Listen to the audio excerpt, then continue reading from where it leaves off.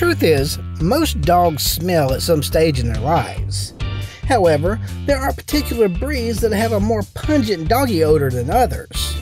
Sometimes this can be due to the folds on their skin, the oils in their coats, or their big floppy ears.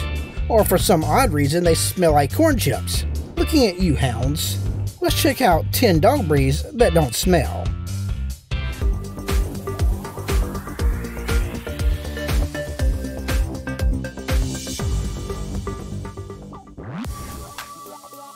Can just look at this little white cotton puff and say, I bet this dog doesn't stink. And you'd be right. Not only does the Bichon Frise not smell, but it also doesn't shed much at all. This friendly little white companion dog does need regular grooming to keep its long white hair from matting, or you can have a groomer keep it in a puppy cut for a more manageable coat. Either way, you can rest assured that doggy odor is not going to ruin doggy cuddle time. The Basenji is an interesting dog. Not only does it not smell, but it also doesn't bark. It's not to say that the Basenji isn't completely noiseless. In fact, this barkless dog is quite vocal. You can find other dogs that bark little in the link in the description. Basenjis grew themselves as cats do, so they don't have the typical doggy smell. Self grooming isn't the Basenji's only cat like quality, though. They are independent, aloof, difficult to train, and typically bond only with one or two family members. The Basenji short coat needs little care. It does, however, shed.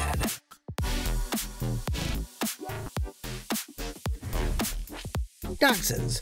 The easily identifiable wiener dogs are friendly little pooches with lively, big personalities.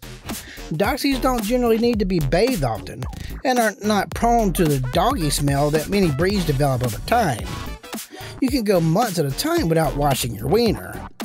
If a dachshund smells unpleasant, and for no clear reason, it is often a sign that something is amiss, and a vet visit may be necessary. Typical causes are ear problems, skin issues, and dental trauma. You won't find a ton of big dogs on this list. The Doberman is an exception. Dobermans are not known to be smelly dogs. Their short, slick coat means they don't suffer from strong odors like longer coated dog breeds are known to. Dobermans are also one of the lowest maintenance breeds of dogs. They are very neat and remarkably clean dogs. Dobies lack the traditional doggy smell, even though they need baths only a few times a year. However, they shed throughout the year. The best way to keep loose hair at bay is to brush the dog once a week. Overbathing is often a cause of stinkiness in dogs because it can cause skin issues like dryness. If your dog is not actually dirty, it might not need a bath or just a gentle wipe down with a cleansing wipe. There's an Amazon affiliate link in the description where you can find some. The Bichon Frise's Cuban cousins are adorable, ultra friendly, easily trained, hypoallergenic, and they don't even smell bad. Havanese have silky hair that doesn't produce a bad odor, assuming you take good care of it by brushing the dog's hair every day. Because the Havanese does not do a lot of drooling, there's none of the bad breath smell that some dogs give off. You can cuddle, kiss, and hug your Havanese all day long without ever smelling something foul or gross.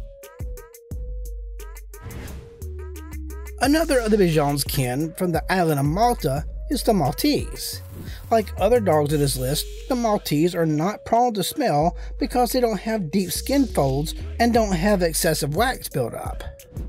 They are a great choice for anyone looking for a clean dog. If that's even a thing, because even the cutest dogs will do some disgusting things, but I digress. Besides being good for first time owners, they are easy to take care of because they don't shed much. If you let the coat grow long, you will need to comb it daily to avoid matting. But a lot of Maltese, Bichon, and Havanese owners are not willing to do that and get their dog a puppy cut, so it'd be even easier to take care of.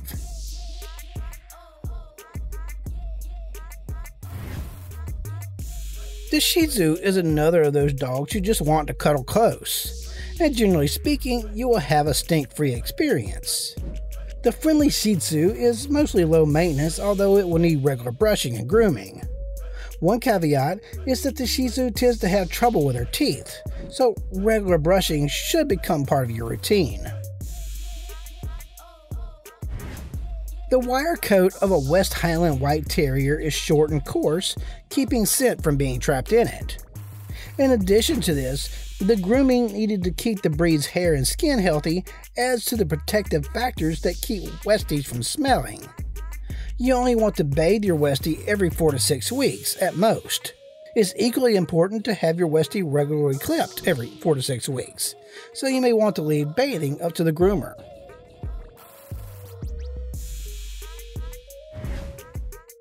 Italian Greyhounds just might be one of the best dogs for people who live in small spaces. They don't shed all that much, their grooming needs are almost zero, they can be quite lazy, and of course, they don't have much of a doggy odor. However, like any dog, they do need bathing, their nails need to be kept short, and anal glands sometimes express, squeezed, or drain. Yes, that's about as unpleasant as it sounds. The good news is that your vet or groomer can do it. Unlike most dogs, poodles don't continually shed. This means they are a good match for a home where a member of the family is sensitive to dog hair. Besides not shedding, poodles are well known as clean dogs who lack the doggy smell of many other breeds. While a non shedding and good smelling poodle is nice to your nose, their need for regular professional grooming every 4 to 6 weeks can become costly. If you want to wash your dog at home to keep costs down, I recommend ProPet Works All Natural Oatmeal Dog Shampoo. Oatmeal is good for your dog's skin and hair and will not rip your pet's natural skin protecting oils out. Speaking of not stinking, here are a few more videos that don't stink. Might as well smash that subscribe button for more. And as always, catch you next time.